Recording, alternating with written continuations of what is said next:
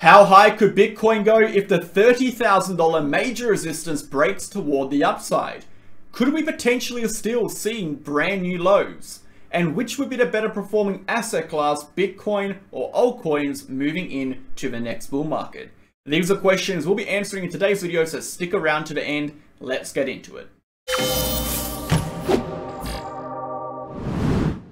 Okay guys, welcome back to the channel. Thank you for tuning in. I hope you're all having a fantastic day today. We're here to go over those three major questions discussed in intro, the difference between Bitcoin and altcoins performance moving into and during bull market cycles based on historical data. We'll also be discussing the possibility of brand new lows and those targets, and of course, our upper targets if that $30,000 major yearly long resistance breaks toward the upside. Make sure before we get into the video to smash your like button, comment any questions, and of course, hit that subscribe button so you do not miss another video. Of course, all of our videos are focused on price action, data, technicals, and objective facts. No emotion, no hype, no shilling, no anything of that matter. You can also find us on Telegram, all the information down in that second pinned comment. You'll get access to videos, charts, analysis, updates, educational posts, news events, so, so much more stuff in here, guys definitely recommend taking that 20 seconds to go ahead and join up. If you are interested in our VIP group, where you'll get access to not only our group, which is where we post our trading signals, but of course our group chat, you can go ahead and contact me via this message in the free group and of course find our trading track records here. You can find all the information of what you'll receive. And remember guys, every single trade we post in that VIP group has exact entries, exact targets, exact stop losses. With our group chat, you'll get access to a few subgroups, general chat, trading and charts, financial information and news, a help group, and questions for daily videos, as well as educational posts and altcoin videos. So much value in our VIP, guys. Go ahead and join up. Let's get into a video, starting off with the market data. Currently, for the month, 21.93% in the green. March has been a very, very volatile month. It started off incredibly poor. We're actually down 15% at one point, but then the Feds announced a basically a 180 pivot there, guys. They changed the narrative. Banks were collapsing. They decided to turn that money printer back on, and we saw asset prices rise. Bitcoin leading the way, of course, for a rise in asset prices. 24 hour volume down 22.35%. You can see it on the top left hand corner and liquidations are down 20%. You can see that in the top middle of the monitor over here. Looking at those liquidations, guys, nearly $200 million in the last 24 hours. So liquidations are still up there. Looking at the last 24 hours on the breakdown, we can see that the liquidations have come from primarily a mix between longs and shorts. There has been a lot of chop within this resistance. The current resistance we're still in now. Let's go ahead and take a look at the broader markets. So the DXY, guys, has been on the down move. And we've talked a little bit about this, more importantly discussed this in a lot more detail in yesterday's video. We talked about how the implications of the slow move toward the downside or a slow uh, progressive move towards a pivot is going to show negative impacts on the DXY and weaken the US dollar. And the DXY is a visual representation of the strength of the dollar. When we start to see the uh, DXY move downwards, we do generally see asset prices rise and the DXY dropping is going to be bullish for assets. However, guys, there is so much more to the story surrounding how the prices are moving right now in the economy and particularly in the financial markets. And I'd highly, highly recommend going to watch yesterday's video uh, to go and find out more information about that, but we're not going to cover it today. However, the DXY has dropped all the way down to 102, a pretty major support. As you can see, we have bounced from 102 and are slowly making our way upwards. But again, guys, we're not looking for any sort of move towards the DXY towards upside unless 103.5 can be reclaimed.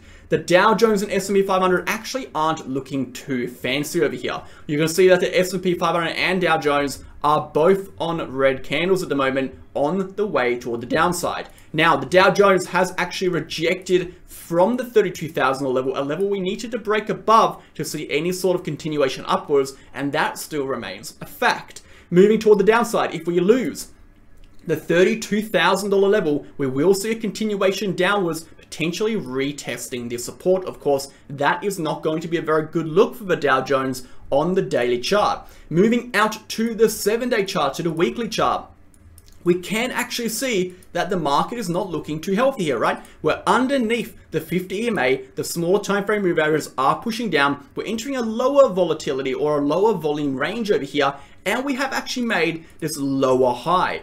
All in all, guys, we're not looking too amazing on the Dow Jones. And like we said already, we do need to start reclaiming some of these higher support levels, or should I say higher resistance levels, to start flipping the way the chart is looking was all in all, we're not looking too amazing. I wouldn't say we're going to continue massively downward, but I'm going to say we're in a, a period now where we're kind of making this decision, right? We're in this middle phase. We can either find support and make this local high and continue upwards, or if we do lose the current support, we will be pushing downwards, which will strengthen the bearish case. And this is very important, particularly moving into the Bitcoin chart, which we'll discuss in the video today. Looking at the S&P 500, it looks like we have developed a ascending channel formation. As you would know, ascending channel, ascending channel formation is a bearish structure. Looking for a loss of this trend line will result in a continuation downwards, potentially retesting some of these lows over here. Okay, the support range between around 3,900 to 3,925. However, this is a uptrend until it is broken and therefore a break over 4,000 could send the S&P 500 back towards the upside. Right now, in that little apex between 4,000 and the uptrending support, we're in a decision phase. Wait for the break to determine the move. Let's go ahead, guys, and talk about Bitcoin next because I wanted to briefly interrupt today's video to discuss my favorite exchange, BitGet. If you're looking for a safe, honest, reliable, and accurate exchange, look no further than BitGet. You can sign up by the link in the description to support the channel and get access to three exclusive perks. That being up to 5,005 US dollars in trading rewards, up to 15% discount on your trading fees, and exclusive access to our Mega Whale promotion campaigns that we run every few months. Alongside that, guys, BitGet is a non-KYC exchange, meaning you do not have to KYC. It is completely optional. BitGet also has a protection fund that secures user assets against external hacks and threats in the space. Alongside that guys, BitGet offers up to 125x leverage on futures with extensive amount of trading pairs and liquidity on the market. I highly recommend signing up to BitGet. It is the exchange I've been using for over a year and a half now, including all of our members. If you're interested in signing up, trading there, and supporting the channel, you can do so with the link in the description. Thanks for listening. There really is so much to discuss. So as we said in the beginning of the video, we're going to talk about three main points. We'll start off with the potential new low. We'll discuss a potential new low first, how low could Bitcoin go, then we'll jump into the 30k resistance and talk about how high Bitcoin can go, and then we'll jump into the Bitcoin versus altcoin chart. So on the higher time frame, guys, we can see Bitcoin is currently struggling to break through that major $30,000 resistance. And obviously, as you know by our previous videos, if you are new here, you'll find out in just a moment, the $30,000 resistance represents the yearly low of the prior bull market. This is probably one of the most important resistances we need to break out of in terms of horizontal resistance ranges on the macro chart to really, really flip the entire macro view towards a bull market or towards a macro uptrend. So at the moment, resistance is resistance until it is not. It is very important not to get overly bullish while we're at resistance. Remember, the majority of your pur purchases for Bitcoin should have already occurred, right? If you've been following the channel, you would have purchased 18,000, 16,500, and 19,200 break of POC and downtrending falling wedge resistance. So if you're contemplating whether you should buy here now, you should take a step back and accept the fact that you were late to buy Bitcoin and you should now wait for the next best entry point, and that is not right now. It doesn't matter what people are saying on Twitter, it doesn't matter how much people are hyping you up. The fact is the fact buying at resistance is never going to be the best decision. You might get lucky, you might buy resistance once and it continues upwards, you might get lucky, but it's not about whether you make money or not. It's about the practices and applications you apply to your trading over a long period of time that's going to make a difference. A difference. So if you constantly buy resistance, you might be right or you might be right a few times, but a vast majority of your trades are going to end up negative. Okay, so Building good habits from the ground up is how you become profitable and buying resistance, it doesn't matter what we're talking about, buying resistance is never going to be the place to buy. It's always going to be the place to look to offload your risk or sell at profit. So we'll discuss what the next time to buy is in just a moment, but let's talk about the downside. So currently guys, until we break over 30,000, we're not going to be entering a bull market and we can use this chart to confirm it. As you can see on this chart, every single time we break above 30,000, which is this red line on prior bull markets, on a monthly candle, we'll see a continuation into a bull market, right? We saw it over here, continuation, we saw it over here, continuation, and we're currently coming up to retest the resistance over here. Now, until we break over that point, we technically do not enter a monthly uptrend or a macro monthly uptrend that will develop into a bull market. And therefore, the possibility for a rejection that results in new lows although we haven't seen it before, is still very much possible. Now, there are a lot of supports we're going to have to break down from to see that. Primarily we're looking at support around 26,400 we're looking at a very important 254 day long major horizontal support between 24,400 and 25,200 that is going to be incredibly strong support. And then from down there we're looking at support such as 20 uh, 22,500. We're looking at support such as 22,000. We're looking at support such as 20,000. And our most important support we're looking at at 19,200 to 18,000 guys. If this support over here breaks toward the downside, new lows are programmed in. New lows are almost guaranteed for Bitcoin if we lose our support. How low could new lows take us? provided we drop, reject, push all the way down, lose all of these support levels, which is very unlikely. I've been saying this entire time. It is very, very, very unlikely we move to new lows, but it is still a small possibility, guys. So we're going to discuss it anyway, just to be prepared for the worst case scenarios. It's always important to prepare for worst case scenarios. If we see all of that occur, the new low we're looking for is going to be 12,000 to 14,000 guys. And I've said this entire time, this entire, entire, entire bear market, my lowest prediction was 18,000. My lowest purchase was 16,500. I've been saying the bottom was in ever since I saw this falling wedge develop on the higher time frames. It represented decreasing momentum, volatility, volume, liquidity, and it represented bullish consolidation. Ever since then, the bottom, in my eyes, have been in and we've seen a rally towards the upside. However, while we're at major resistances, we could still see macro rejections and macro rejections could develop into smaller time frame and higher time frame rejections and resistances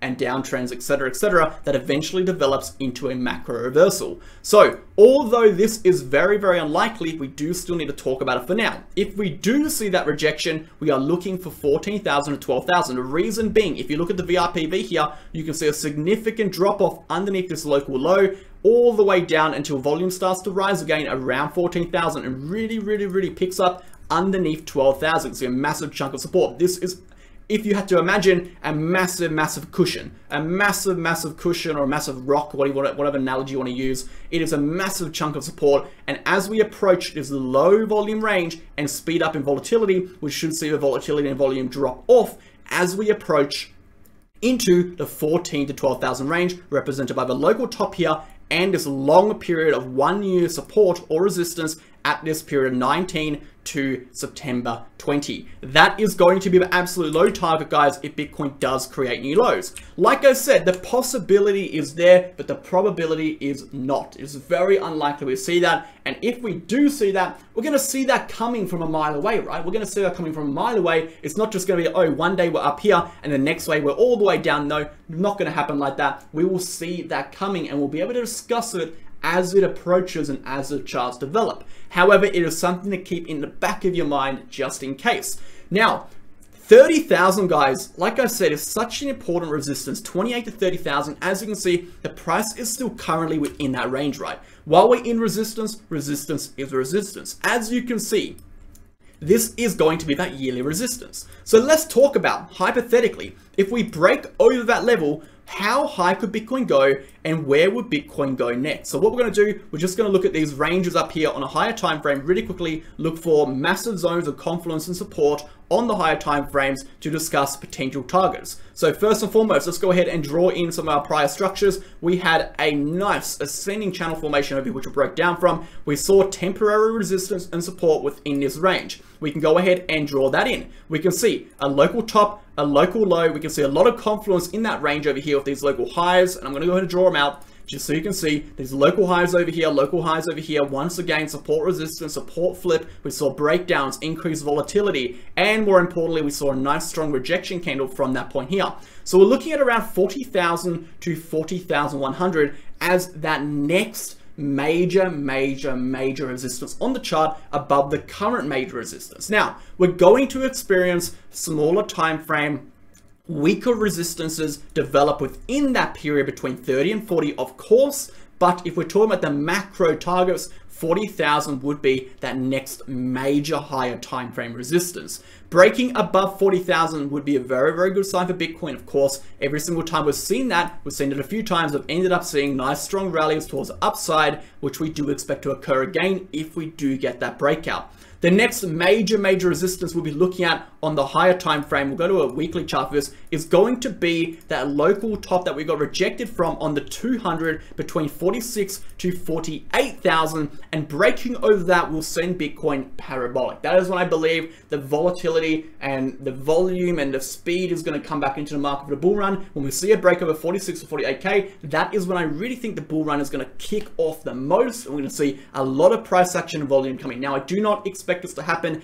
any date before the halvening, any date before uh, what we have on the four-year cycle chart over here, which is April 2024. I do not believe Bitcoin is going to get over 48,000 before April 2024, guys. So we do have some, we still have quite some time to go for that.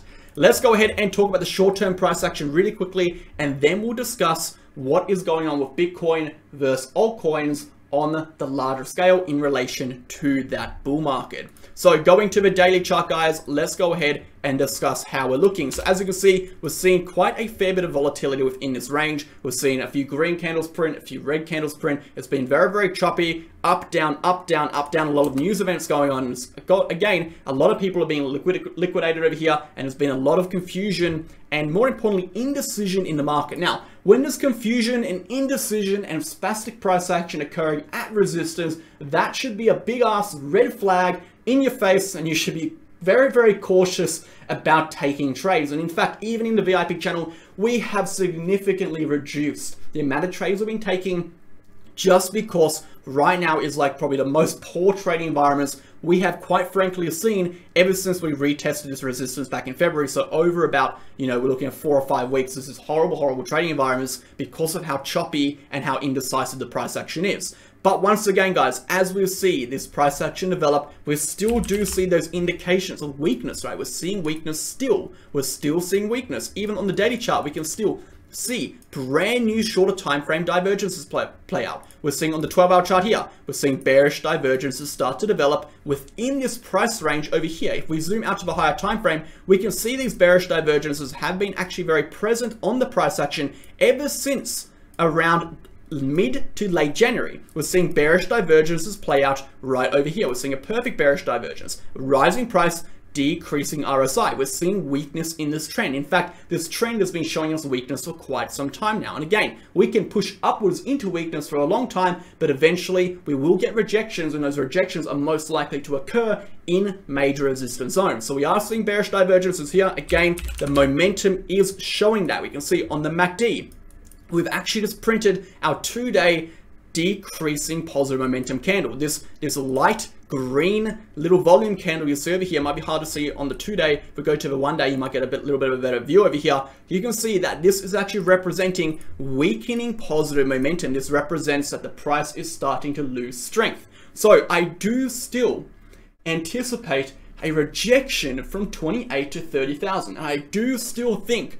the rejection we get from 28 to 30,000 is going to be a perfectly healthy correction provided we find support above, anywhere above 19,200 to 18,300, which is that major support that will enter new lows that we did talk about in the start of the video. Now, there are scenarios in which Bitcoin could basically push sideways and upwards for so long that the momentum resets and the price continues upwards. That is definitely a possibility, but we can't make speculative assumptions. All we can do is look at the data we have now. And as per the data right now, on the higher time frames, it is starting to suggest weakness. Looking at the smaller time frames, such as a four hour chart, we did see quite a strong double top currently. We're seeing a double top print on Bitcoin, of course. We saw a four hour double top at 28,600. We have currently seen rejection. I do not expect any sort of continuation upwards anymore unless this high, this local double top, is broken and closed above on a four hour chart. Until then, I expect the price to continue toward the downside. Lower targets, guys. Look for whole numbers. 27,000, okay? 26,400 local tops. 28,000 is a major, major support. Below there, 25,200, 24,400. Let's go ahead and finish up the video discussing the difference between Bitcoin and altcoins historically and based on their performance in prior cycles. A lot of people ask me to go over this, so I'll go over it again. If we look at the prior performance of altcoins, this is a total altcoin market cap excluding Bitcoin and Ethereum, and this is the Bitcoin market cap, we can see the percentage gains at certain intervals. If we take where the bull market kind of kicked off, which was the break of this local high here, okay? And we take the distance between that breaking point and we take the distance to the first local top, okay? And we did exactly the same thing on um, the altcoin chart over here. So we'll go ahead and draw our same horizontal line in, which is going to be this horizontal resistance which matches up over here. And we draw that same distance between that red line, that horizontal breakpoint, to that same date range of the local top on Bitcoin, which is actually going to be over here um, we're going to go and put that in a little bit more accurately in a second, guys. We can see during the time Bitcoin did a 255% move, on average, altcoins saw a 48% rally. Now, this is where it gets very interesting. When did altcoins really, really, really start to pick up? They started to pick up once Bitcoin completed that first pullback. You can see Bitcoin rallied to the top side, then pulled back, and ever since it reached that pullback, from there, Bitcoin decided to rally another 138% to tops. Now, if we take that same date range for altcoins and we apply that, that initial starting point to the starting breakdown point for Bitcoin, that takes us to this date over here, which is going to be the 11th of January. From there to the top, altcoins on average did 700% when Bitcoin did 138. So we generally see in that starting phase of the bull market, Bitcoin really, really lead the market forward. After Bitcoin sees that first major retracement, that is when money flows back into altcoins and altcoins really start to pop off. So personally, I am only holding Bitcoin until I start to see that after April 24th, after we get the halving, after we get that first strong rally past 48,000, then we get that retracement, and then I'll be moving more into altcoins. Now, here's the thing. Just because on average, altcoins didn't rally 700% in that first rally and Bitcoin went up 250%, whatever it was, it doesn't mean there won't be some altcoins that massively, massively outperform Bitcoin. Of course there are going to be, but there are also going to be altcoins that massively, massively underperform Bitcoin. It's a complete average. So you can have massive success buying altcoins cheap now buying altcoins cheap a few months ago if you did and holding them. But again guys there's no absolute guarantee of that based on historical data. It is always going to be a safer choice to get the bitcoin first and then scale into altcoins rather than getting altcoins first and hoping to just make it from day one. Because a lot of altcoins just really don't go back up. If you look at 2017 altcoins they really didn't go back up in 2020-21 bull market. If you look at 2021 bull market altcoins, a lot of those will not go back to new all-time highs. They won't even reach the prior highs we saw in 2021 because there's so many bag holders of those coins willing to sell every single time the price moves up a little bit, guys. Something to keep your eyes on. I hope you enjoyed the video. Go ahead and up to the Crypto Academy courses to learn how to trade. All the information here. 10-unit course. We teach you everything from market patterns, structures, technical analysis, indicators, market psychology, emotional control, etc, etc. Now, sign up to BitGet, guys. It's the best thing you can do to support the channel. Go ahead and trade there. Where I trade, you get 15% off your fees, and you heard all about that already. So go ahead and get into that. I hope I see you guys tomorrow. Cheers.